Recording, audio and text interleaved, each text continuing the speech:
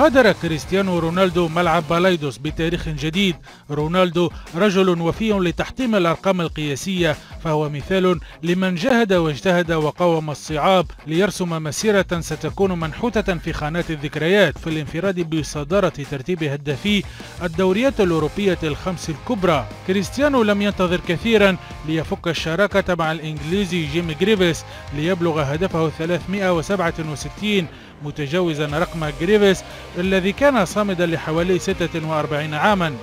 صاروخ ماديرا لم يقف عند هذا الحد بل عزز صدارته بهدف آخر ليصل لهدفه 368 انطلاقة رونالدو كانت مع ناديه لشبونة قبل أن يبدأ مسيرته الحافلة في الدوريات الكبرى مع مانشستر يونايتد الفريق الذي غادره ب 84 هدفا من 196 مباراة.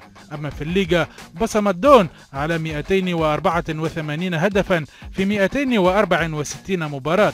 الفوارق كبيرة في أرقام الدون حيث نجح في تحقيق هذا الإنجاز الأوروبي بعدد أقل من المباريات التي خاضها الإنجليزي ب 68 مباراة.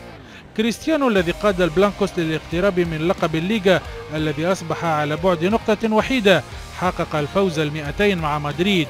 ومن المؤكد أن يعزز ابن ماديرا هيمنته على كرة القدم الأوروبية فغريمه الأرجنتيني ليونيل ميسي يتأخر عنه ب 18 هدفا فقط.